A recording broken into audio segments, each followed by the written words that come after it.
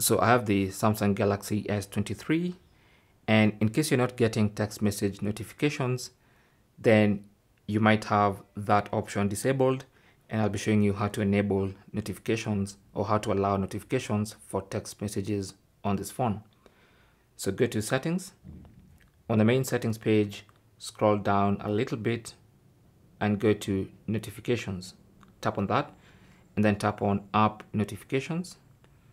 That's going to populate all the notifications.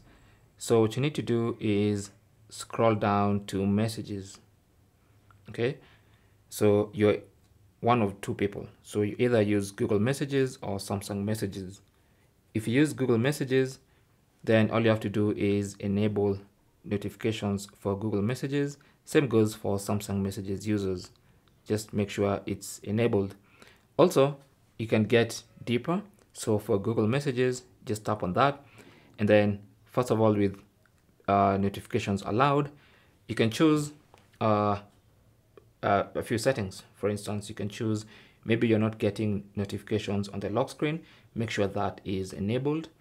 Uh, and all these, make sure they are enabled depending on what you want, of course.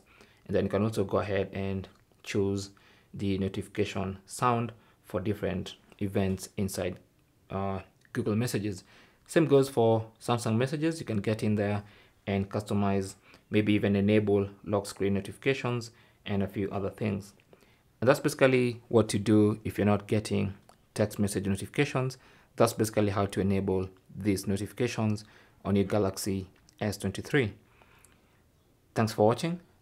Leave your comments and questions down below and good luck.